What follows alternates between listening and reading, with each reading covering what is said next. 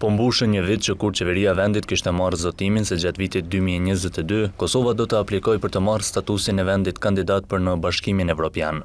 Në pjesën e parë të vitit nuk u pa ndonjë lëvizje në këtë drejtim, kurse gjatë qershorit kryeministri Albin Kurti pati potencuar se nuk ka hequr dorë nga kjo ambicie. Do të vazhdojmë edhe me aspiratën tonë për statusin e kandidatit në Bashkimin Evropian, ku planifikojmë të aplikojmë në fund të këtij viti. Ndonëse nuk janë ndërmarrë hapa konkretë, zotimet në formë deklarative nuk kanë munguar kohë pas kohe.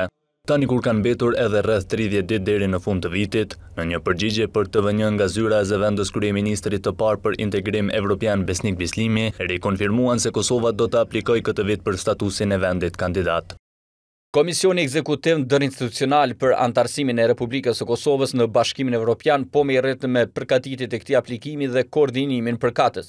Siç është shprehur nga kryeministri Kurti e po ashtu reafirmuar në takimin e parë të këtij komisioni në datën njëzet e tre nëntor, aplikimi do të dorëzohet para fundit të këtij viti. Aplikimi për anëtarësim i dorëzohet Presidencës së radhës së Këshillit të BE-së, në këtë rast Çekisë. Këshilli më pas vendos se kur aplikimi i përcillet Komisionit Evropian, i cili ftohet zyrtarisht të përgatisë një opinion mbi meritat e aplikimit të vendit, bazuar në kriteret për anëtarësim. Parlamenti Evropian dhe parlamentet kombëtare të shteteve anëtare të BE-së njoftohen gjithashtu për aplikimin. Vendimet në Këshill për statusin e kandidatit miratohen me unanimitet nga të gjitha shtetet. E nëse Komisioni dorëzon një opinion pozitiv, si dhe nëse Këshilli miraton unanimisht një mandat negocimi, atëherë hapen zyrtarisht negociatat midis vendit kandidat dhe shteteve anëtare.